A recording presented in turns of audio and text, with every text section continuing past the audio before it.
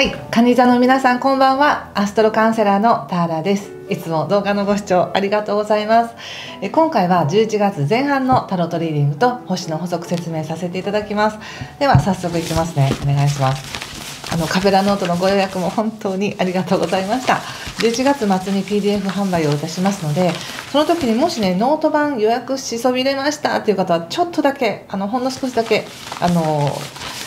販売できるかと思いますのでまたサイサイトをご覧いただければと思います。では行きます。10 11月前半ですね。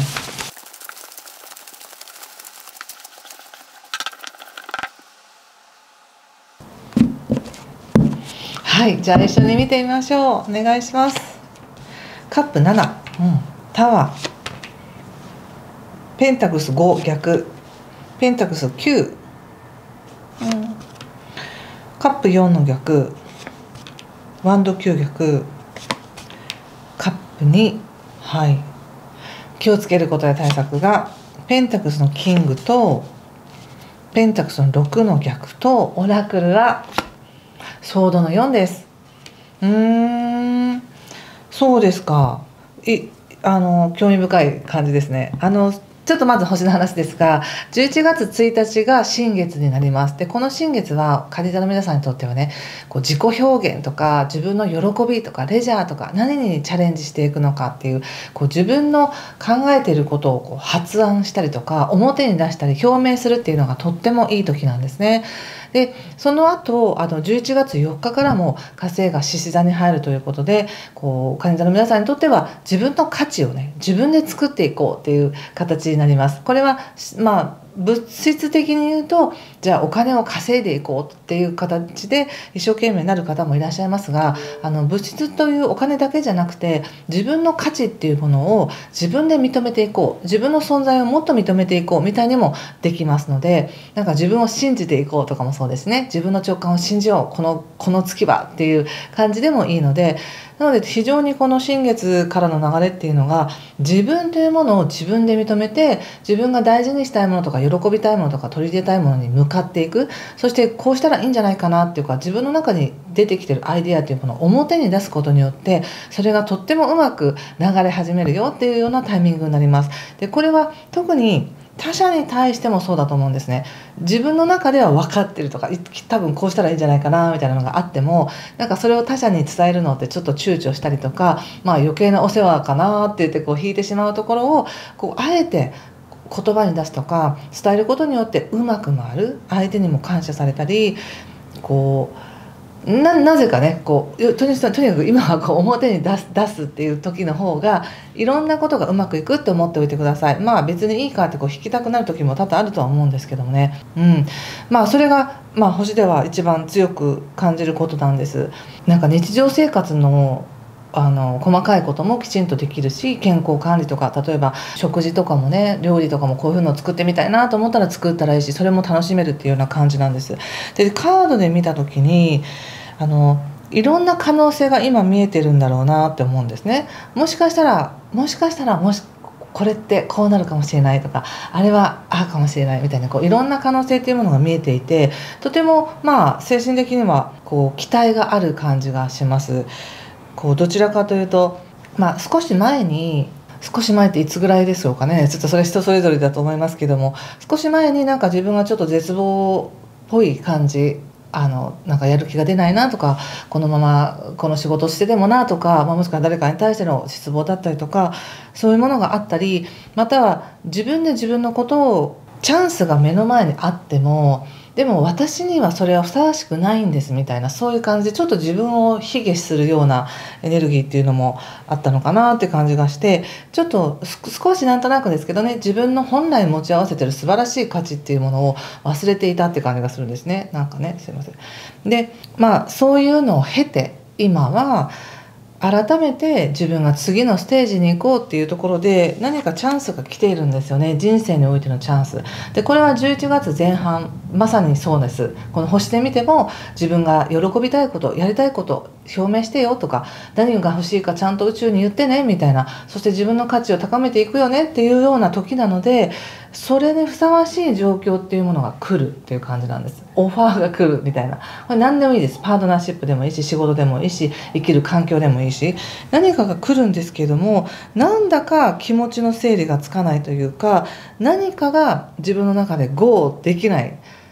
じゃあそこ行くみたいにできない何かがあるって感じです。なんかもっとこうしなければならないっていう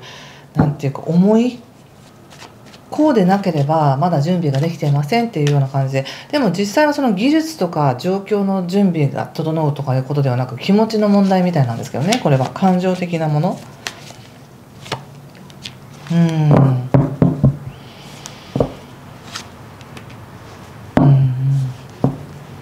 なるほど。なんか今すごいチャンスが来てるんですね。なんかまるでこの例えばこのカードっていうのは束の腰に乗るみたいな感じのカードでもあって自分よりもステータスの高い人からのオファーが来るとかお見合いの話が来るとか、まあ、そんな感じもあったりするんですけどもなので今自分が捉えてる今の自分の生活とは少し違ったチャンスがありあのすごくそれはありがたいことなんだけれどもなんかもしそれを受け取ってしまったら本当になんか自分はもう引き返せないみたいな感じで そのいいのかいいんだろうかっていうこう戸惑いですね、うん、なんかそんな感じがしますけどでもこれってすごく物事をなんか0か100かで考えているかもしれないのでもうもしそのオファーを受け取ったらもう絶対にそうしなければいけないみたいなね。まあ例えばよく結婚の話とかもそういうのってあると思うんですよね。もうこの人と結婚するかどうかって考えたらもう結婚するならもう本当に腹をくくらなければいけないみたいななんかそういうすごい覚悟がある感じがするんです。間違えちゃいけないとかね人生が終わってしまうみたいな。でも実際は結婚してからでもいくらでも関係性っていうのは修復していける変えていけるわけです。お互いのコミットによって。なので何が今来てる仕事の話なのか人間関係なのか自分が決めた自分の生き方にシフトするっていうことなのかわからないですけれどもなんかそれに対してわあ本当にいいのかなってこうちょっと戸惑っているもっと自分が納得いくまで準備してからじゃないとそれはいけないみたいな感じがあるけれどもカードがカードが言われてるのはそんなにもうもうこれを選んでしまったら後がないみたいなそんなことはないしいくらでも変更は可能なんですよっていうことを言われていますなのでまだ起きてないことに対してそんなに心配しないでねっていうあのメッセージを受けています。うん、で何よりもやはりそういう不安があるんだとか実はそういうことが心配なんだっていうことをこう他者にそれを伝えてくださいって感じがしますねちゃんと相手は受け取ってくれるし理解してくれるし自分も言うことによってホッとするっていう感じがあるしあなんだこうそうだったんだみたいな取り越し苦労とかちゃんと解消できるって感じがあるのでご自身が戸惑っていることやちょっと躊躇していることや何に引っかかっているかっていうことをあのちょっとシェアしたらいいかなっていうふうに思いました。そしてすごくねあのなんだか今のその患者の皆さんの周りにいる経験豊かな人たちなのか先輩なのかあの年上の人たちの上司なのかわからないですが非常に目をかけてくれてるっていう感じがありなんかそれに対して自分は思うように貢献できていないとか相手の期待にこう添えていないみたいなねなんかそんな感じがありますが非常に一見そんなことないように見えて実は非常にナイーブになってるなっていう感じがします。うん、そしてこのオラクのこのソード4は一体何なんでしょうね？ソードエース、うん、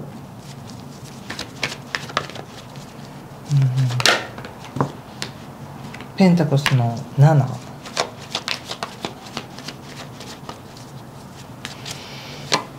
うん。なんかどっちの方向に進んでいいのかわからないからとりあえず止まるみたいな感じかな。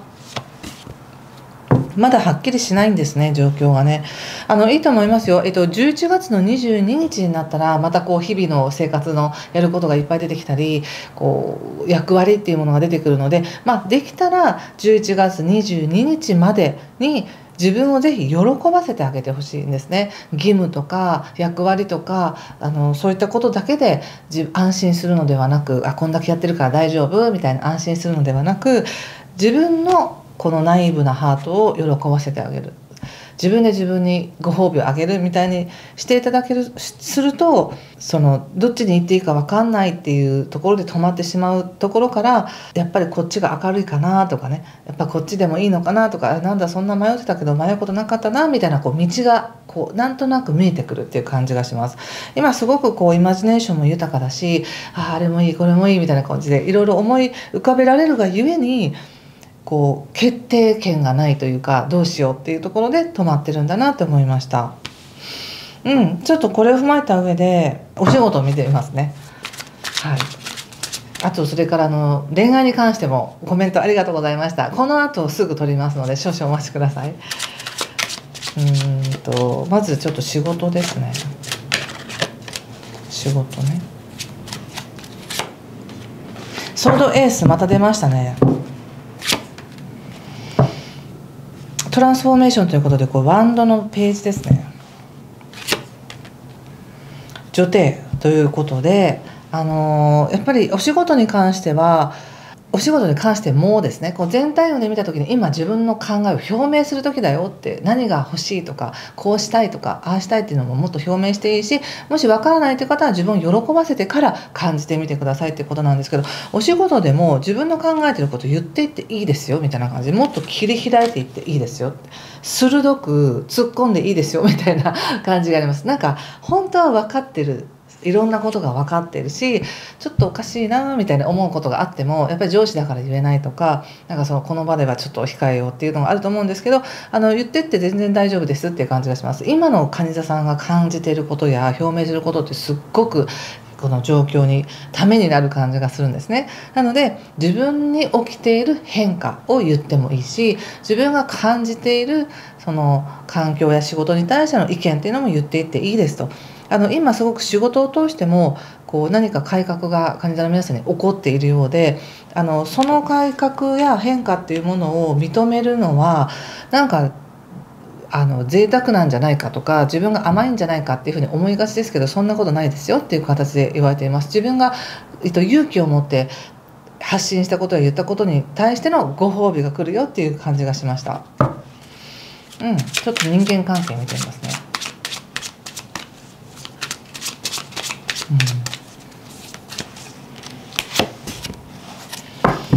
えっ、ー、とソードの8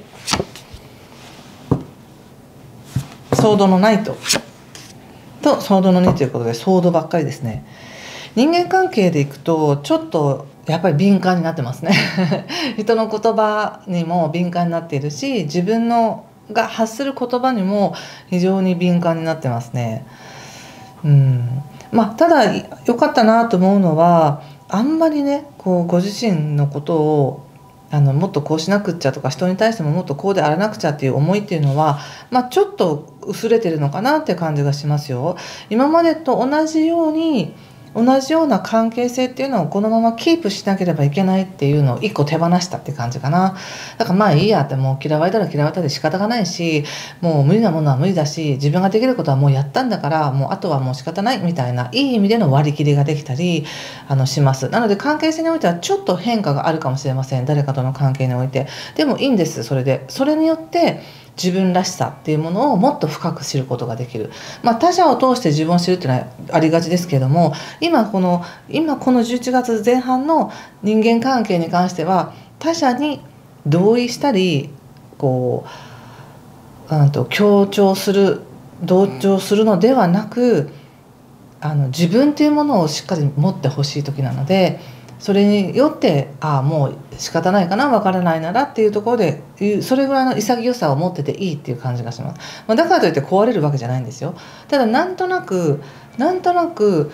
その他者に対してちょっと怒りのようなあのエネルギーを感じていてでこの怒りのエネルギー出しちゃダメだとかって思ってあの自分で抑えるともう言わないしあの関わらないってことになると思うんですけどねいや言っていいんですよっていうのがまあ全体のメッセージなわけです。で、うんと、なのでもしもしもですけど誰かに対しての怒りとかちょっと不満っていうものを感じているならば、まあ、それだけでその今関係性っていうのを修正しやすい時だっていうことですね。まあ特にでもちょっとこれ先の話になりますけど12月7日以降は、まあ、さらに関係性っていうのは人との関係性に優しさが入ってくるとか愛情が入ってくるっていうのがあるのでね11月末12月ですよね12月はもっともっともっと人間関係いいわけですからあのさっきもそうでしたけどなんかこれを受け取ったらもう後がないみたいな感じで思うかもしれないけどいつでも修正できると思っておいてください。関係性においても自分の目標に対してもいつでも修正できる。って思ったらまあ今は言いたいことを言わせていただきますっていうのはいいと思いますよ。そんな感じかな。ちょっと最後にもう一枚引かせてください。ちょっとあの人間関係じゃなくて、えっと、恋愛に特化したものはこの後すぐアップしますので少々お待ちくださいね。全体を通しての蟹座さんへのメッセージですね。自分で自分のことを認められたら本当に楽しい時になると思いますよ。おっとこのカード前も出ましたっけ？あの、えっと、このカード見て何か思うところありますでしょうか？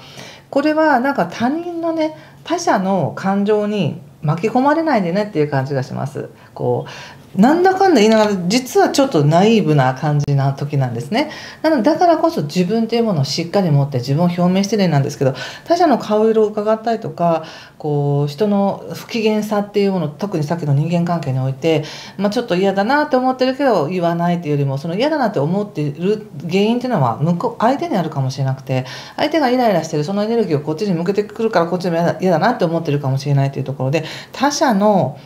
顔とかえ影響に惑わされないっていうふうに気をつけておいてください。ということで今回はここまでにしておきます。もし何かしら良かったよとか分かりましたとかいう方いただいただけるならビッグいいねをいただけると嬉しいです。はい。またコメントもねあのいつもありがたく拝見しています。ということでまたすぐお会いしましょう。今回も最後までご視聴ありがとうございました。失礼します。